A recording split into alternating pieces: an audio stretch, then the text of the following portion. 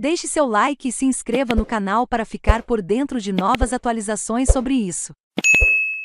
Joel Embiid admite que se tornar o MVP da temporada da NBA é importante para ele com o fim da temporada regular da NBA. Joel Embiid parece o verdadeiro favorito para ser nomeado MVP da liga.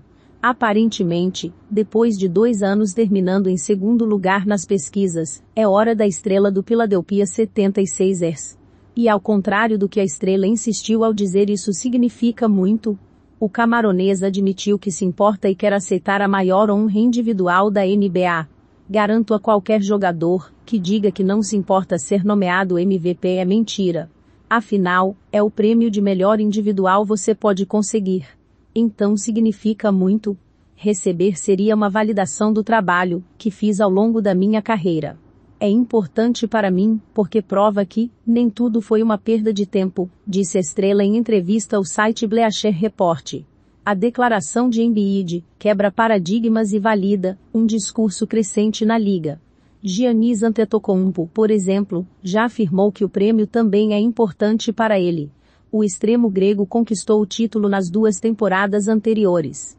Os dois são finalistas oficiais da honra ao lado de Nikola Jokic. O líder do Denver Nuggets tem essa honra há dois anos, algo que poucos jogadores podem ganhar, então seria uma grande honra. Quero colocar meu nome nessa história, completou o atleta de 29. A discussão em torno do MVP deste ano tem sido bastante agressiva nos bastidores. Em suma, tornou-se um debate tóxico. Vários técnicos apontam que se tornou uma conversa pautada não por elogios, mas por críticas ao candidato. No entanto, esse personagem destrutivo não surpreende a Embiid. O pivô revela que isso é história há muito tempo. Foi legal ser candidato ao prêmio nos últimos três anos.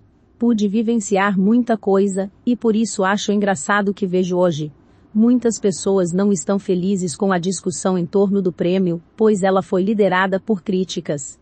Mas onde estava essa empatia, quando eu era o único a ser criticado? Isso se tornou um problema, porque os outros agora